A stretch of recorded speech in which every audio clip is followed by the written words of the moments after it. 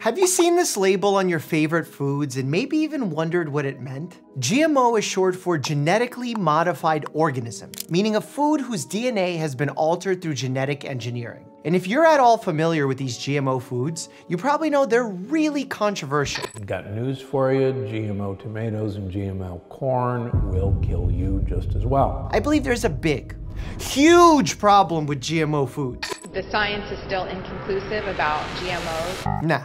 All of that is nonsense. The real problem is that they need to fire their PR team. You are fired, Piggy! You are fired! Fired! Because they're a victim of a wildly successful fear mongering campaign. The actual reality is GMOs have been produced in the US for about 30 years and are now a big part of our food system. More than 90% of certain staple crops like corn and soybeans are GMOs. The truth is, GMOs are incredibly valuable. They increase our output of affordable, nutritious food and offer us a way to actually make foods better. With GMOs, we can create crops that are healthier and are disease and drought resistant. Plus, there's ways to develop GMO crops that require less water and pesticides, reducing negative impact on the environment. And that's crucial because population growth and climate change already threaten our global food supply. Despite those benefits, GMOs have a pretty bad reputation.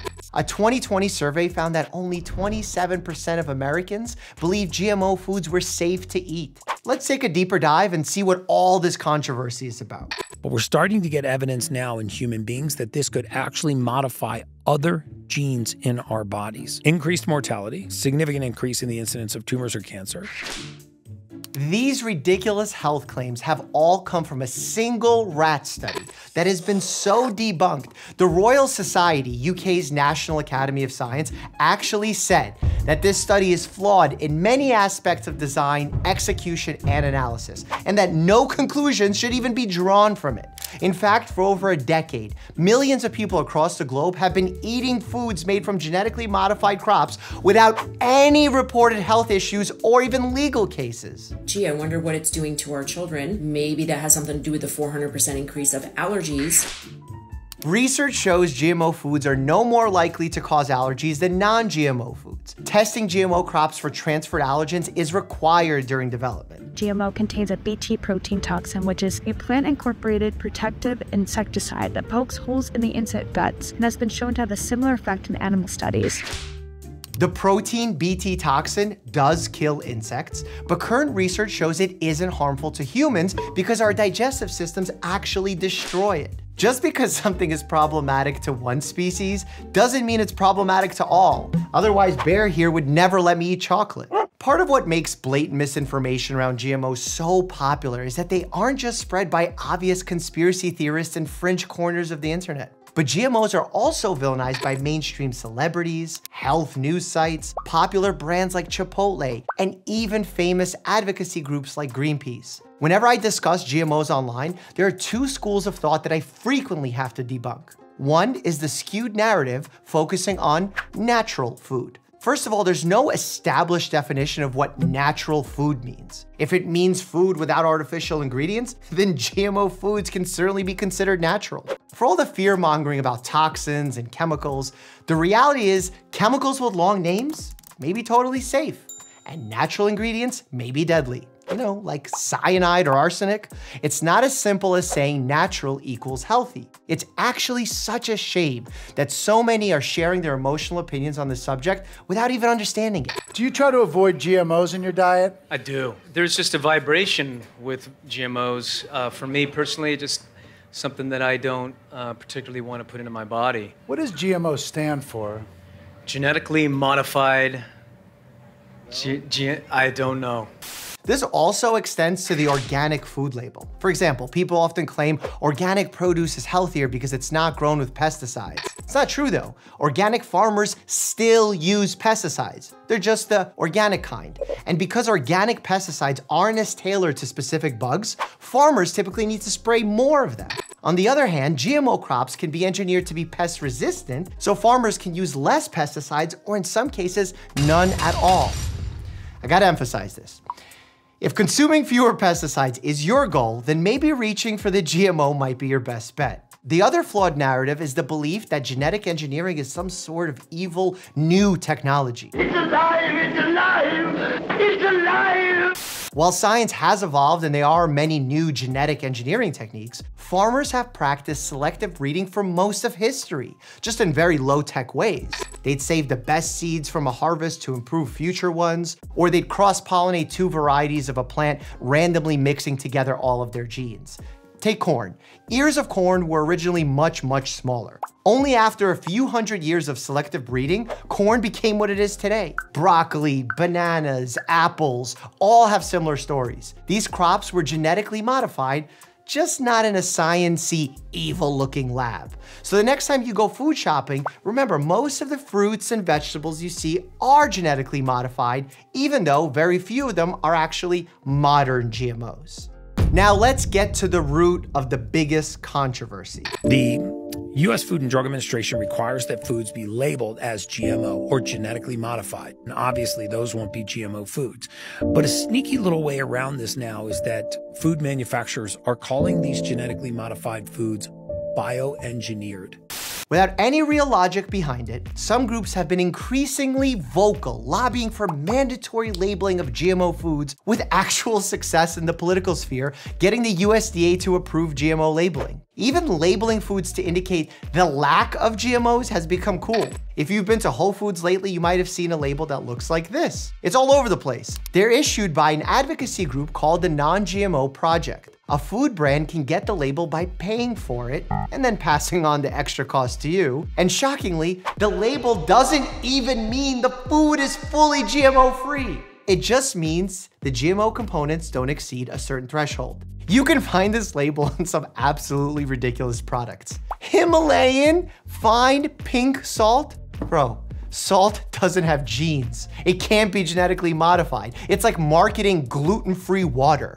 But what I fail to understand is why are they doing this? Labeling GMO foods has been framed as a consumer right to know issue. But labeling ultimately biases shoppers against perfectly healthy and often more affordable foods. That's just bad practice. If the evidence says that GMO foods are as safe and healthy as other foods, then what's the purpose of the label? Adding food warnings that don't have any purpose can create alarm fatigue, where alarm bells become so commonplace that people start to ignore them. Just look at Prop 65 in California, where every single product has this sign warning you about cancer-causing compounds. Honestly, I might as well stick that plaque on my forehead.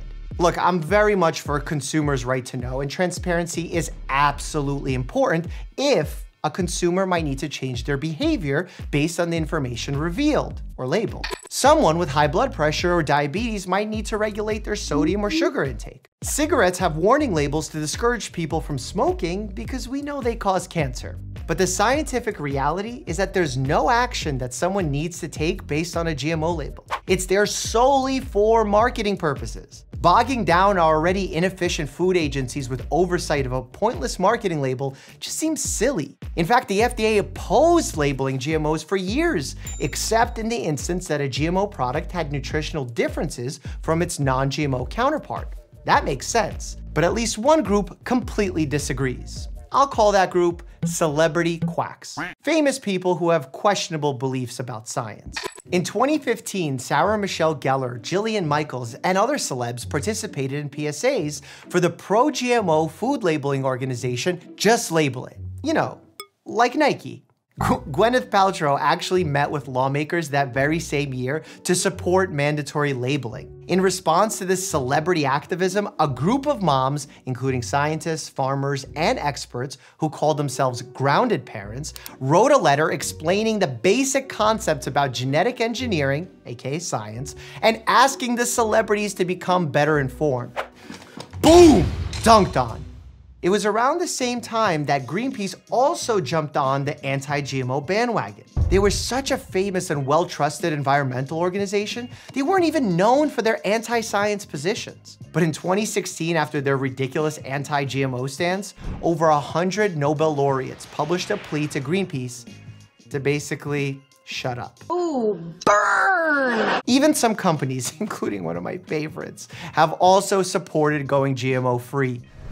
Chipotle announced in 2015 that it was going GMO free and then hung only non-GMO ingredient signs across its stores. Three years later, it became the target of a class action lawsuit when customers claimed those non GMO signs were misleading because Chipotle's meat and dairy products came from animals who'd been fed GMO crop.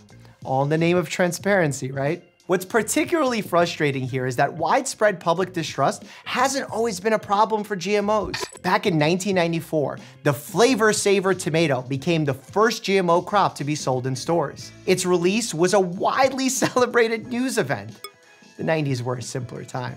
The Flavr Savr was genetically engineered to stay firm and flavorful longer than regular tomatoes. The company behind the Flavr Savr wasn't legally required to label it as a GMO food, but decided to because they thought of it as a promotional tactic. The Flavr Savr flew off the shelves when it first came out, but then it didn't quite live up to the promises of superior taste and texture and was eventually discontinued in 1997. The fact that the Flavr Savr wasn't a rousing success didn't ruin Americans' appetite for GMO foods. Public polling from that time found that most Americans accepted GMO foods and were even excited about them.